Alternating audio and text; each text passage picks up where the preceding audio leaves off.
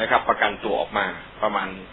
น่าจะอยู่ที่ประมาณหกเอ่อประมาณหกหมื่นหกหมื่นกว่าบาทนะครับ แล้วก็มีนายประกันด้วย ทีนี้จู่ๆนะครับ ก็เกิดเหตุว่าปืนกระบอกนี้หลังจากตรวจสอบหัวกระสุนแล้วบอกว่าหัวกระสุนนี้เป็นหัวกระสุนซึ่งตรงกับตรงกับที่ยิงนายสุทินนะครับ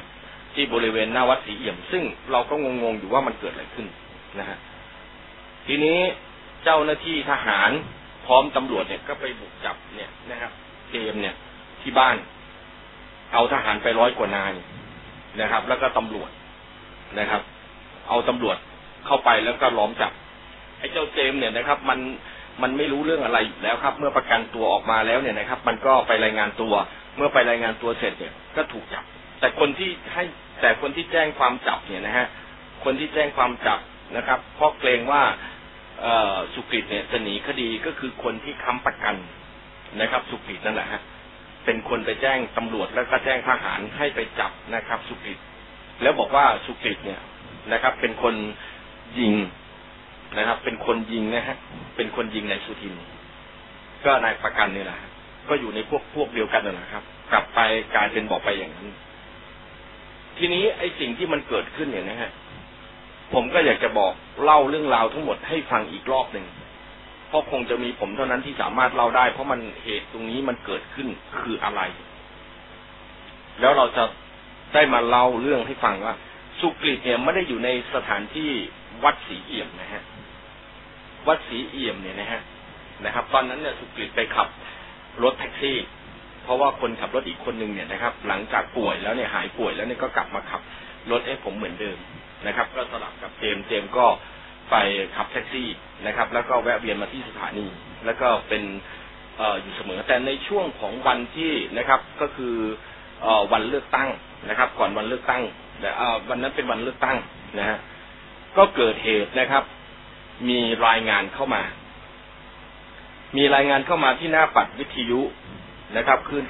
90.25 ผู้ก้าประชาธิปไตยจังหวัดสมุทรปราการ ก็มีคนโทรเข้ามาตอนนั้นผมทำรายการตอนเช้านะครับ รับสายหน้าใหม่ตอนเช้า น่าจะอยู่ประมาณสักสิบโมง มีมวลชนโทรเข้ามาบอกว่ากกปสนะครับ เข้ามาขัดขวางการเลือกตั้งนะครับ ขัดขวางการเลือกตั้งที่บริเวณนะครับ บริเวณด้านหน้านะครับ วัดศรีเอี่ยมซึ่งเป็นหน่วยเลือกตั้ง เมื่อผมได้รับรายงานเสร็จเรียบร้อยแล้วนะครับ จาก จากมวลชนที่โทรเข้ามา ตอนนั้นเนี่ยนะครับ คนมวลชนที่โทรเข้ามาก็คือพี่ยะนะครับพี่ยะก็โทรเข้ามานะครับ บอกว่ากกปสเนี่ยนะครับ มายึดพื้นที่แล้วพี่น้องเสื้อแดงของเราก็อยู่ตรงนั้นด้วยนะครับเกรงว่าจะปะทะกัน เพื่อความมั่นใจนะครับ ผมก็ขับรถไปดูนะครับ ก็ไปกับพักพวกรวมกันสี่คนนะก็นั่งอยู่ในรถนะครับ ใช้รถส่วนตัวนะครับ เป็นรถเก๋งเนี่ยนะครับ ไปดู เมื่อผมเข้าไปถึงวัดศรีเอี่ยมเนี่ยก็ปรากฏว่ากลุ่มกกปสนะครับทยอยเดินทางเข้าไปนะครับ ก็คือเต็มพื้นที่เลยแหละครับพูดง่ายๆว่าไปเพื่อขัดขวางการเลือกตั้งโดยเฉพาะ เพราะว่าพื้นที่นี้เนี่ย คนที่คุมก็คือนายปีนายปีมาลากุลนะครับ เป็นพื้นที่ของเอเป็นพื้นที่นะครับของการควบคุมของนายปีมาลากุลนะครับ ซึ่งณขณะนั้นนะครับ ก็มีชุดกกปสเนี่ยนะครับ ที่ทราบข่าวมาว่าไปกินนะครับ ไปกินข้าวกันที่โรงแรมแห่งหนึ่งนะครับ ในซอยอุดมสุขนะครับ รู้สึกว่าจะชื่อนิรันดร์แกนนะฮะจะไปกินข้าวกันที่นิรันดร์แกน แล้วก็อาสาว่าจะมาขัดขวางการเลือกตั้งที่วัดศรีเอี่ยมเพราะเป็นหน่วยเลือกตั้งนะครับ ก็เข้ามาขัดขวางการเลือกตั้ง โดยนายสุทินเป็นคนนำมา แต่เราไม่รู้หรอกครับว่าเป็นนายสุทิน เพราะเราไม่ทราบข่าวมาทราบตอนหลังว่าเป็นนายสุทิน เมื่อผมเห็นว่า กกปสมากันมากนะครับ ผมจึงเข้ามาดูแล้วผมก็โวยไปว่าเฮ้ยไหนบอกว่ามีคนเสื้อแดงอยู่ไม่มีคนเสื้อแดงเลย เพราะผมกลัวว่าจะเกิดเหตุการณ์ประทะกัน เพราะฉะนั้นผมก็เลยโทรกลับไปยังหน้าไม้นะครับ ว่าพี่น้องที่จะเข้ามาที่วัดศรีเอี่ยมเนี่ย จะเข้ามาปกป้องการเลือกตั้งเนี่ยนะฮะอย่าเพิ่งเข้ามาโดยเด็ดขาด เพราะจะต้องเกิดการประทะกันอย่างแน่ ผมก็โทรศัพท์กลับมาที่สถานีวิทยุนะครับ ในฝ่ายหน้าใหม่ ตอนนั้นรู้สึกว่าจะมีพี่พิลมหรือใครเนี่ยแหละครับ จัดรายการอยู่ก็มีสองสามคนครับที่จัดรายการอยู่ผมก็ไม่ไม่ค่อยแม่นเรื่องนี้เท่าไหร่นะครับ ก็โทรเข้ามาหน้าใหม่นะครับ เพื่อที่จะแจ้งว่าให้พี่น้องเนี่ยนะที่เข้ามาเนี่ยไปรวมกันนะครับ บริเวณหัวปลาช่องนนทรีทางเข้าโรงพยาบาลศรีคลินนะครับ ตรงนั้นเขาเรียกว่าท้ายซอยลาซานฮะเราก็ไปรวมตรงนั้น ผมก็นะครับ หลังจากเห็นว่ากกปสมาเต็มไปหมด นะครับ ก็จึงให้พ่อแม่พี่น้องเนี่ยไปรวมกันที่หัวปลาช่องนนทรีเมื่อไปรวมกันที่หัวปลาช่องนนทรีแล้วนะครับ เมื่อไปรวมกันที่หัวปลาช่องนนทรีแล้วนะ ผมก็เช็คข่าวตลอดว่ากกปสกลับไปหรือยังซึ่งสายของเราเนี่ยที่รายงานอยู่ตรงนั้นนะครับ บอกว่ากกปสเนี่ยถอนกำลังกลับไปหมดแล้วกำลังจะถอนกำลังกลับฮะผมก็บอกกับมวลชนว่าให้ใจเย็นๆรออยู่ตรงนั้นก่อน ก็เป็นกุศโลบายของผมที่ให้รอก่อน เพราะว่าไม่อยากให้เกิดการประทะกัน แล้วมันจะเกิดการสูญเสียฮะ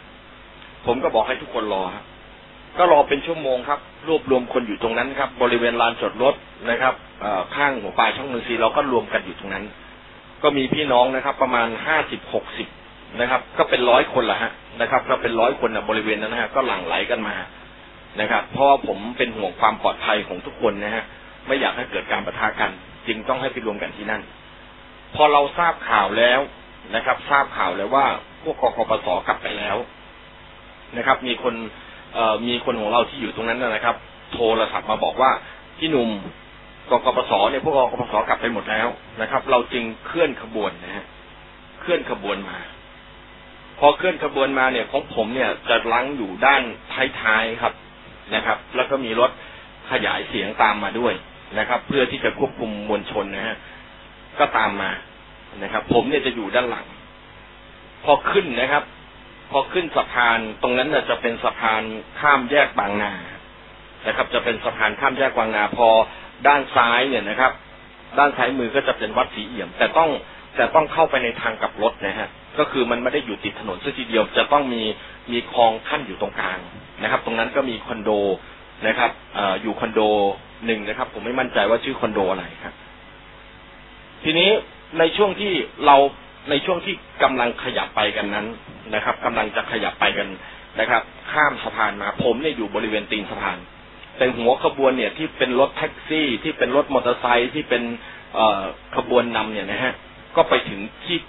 ไปถึงบริเวณหน้าวัดตรงหัวโค้งนะครับ ที่จะเลี้ยวเข้าวัดอยู่พอดี ประกอบกับว่าจังหวะนั้นนะครับ จังหวะนั้นเนี่ยรถของนายสุทินนะครับ มาทราบตอนหลังว่าเป็นรถของนายสุทินนะฮะ ก็กำลังออกมาพอดีนะครับ รถของนายสุทินเนี่ยกำลังกลับรถออกมา ผมเห็นเอ่อถ้าอยู่บริเวณนะครับ ถ้าอยู่บริเวณบริเวณนั้นนะครับ ถ้าอยู่บริเวณตรงเชิงสะพานเนี่ยครับ ก็คือตีนสะพานเนี่ยข้ามมาแล้วนะครับ ข้ามฝั่งข้ามฝั่งมาตรงอุดมสุขตรงบริเวณหน้าวัดศรีเอี่ยมแล้วเนี่ยนะฮะมันก็จะเห็นเราก็จะเห็นรถเขียนว่าต่อต้านพลังงาน คืนพลังงานอะไรสักอย่างหนึ่งนะฮะที่รถอะผมก็เห็นแวบๆนะแต่เราไม่รู้ว่าใครอยู่ในรถบ้าง แล้วมีกี่คนอะไรกี่คนฮะก็เห็นแวบๆฮะพอพอรถผมช่วงชะลอปุ๊บก็เห็นท้ายรถคันนี้นะฮะท้ายรถไอ้ขยายเสียงคันเนี้ยนะครับ ซึ่งต่อมารู้มาภายหลังว่าเป็นรถของที่นายสุทินควบคุมมาเนี่ย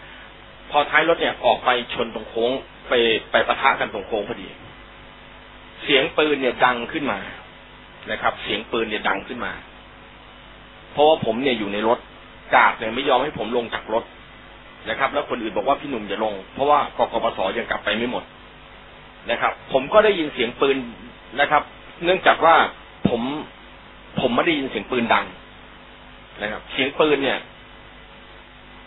มันไม่ได้ดังมากขนาดนั้นครับผมได้ยินเสียงปืนว่ามันดังมาตุ้มตุ้มตุ้มตุ้มเรารู้แล้วว่าเฮ้ยมันต้องมีการพัฒนากันข้างหน้า ผมก็รีบนะครับ ถามแต่ว่า กาดเนี่ยบอกว่าพี่หนุ่มอย่าออกมา มีมีการยิงก็กาดก็วิ่งหน้าตาตื่นมาหาผมนะครับ คนที่ไปด้วยกันอะมวลชนอะที่ไปด้วยกันที่จะไปปกป้องการเลือกตั้งเนี่ยนะฮะนะครับ ก็วิ่งหน้าตาตื่นบอกว่าพี่หนุ่มพี่หนุ่มอย่าออกไป มีการยิงกันประทะกันอยู่ข้างหน้านะฮะ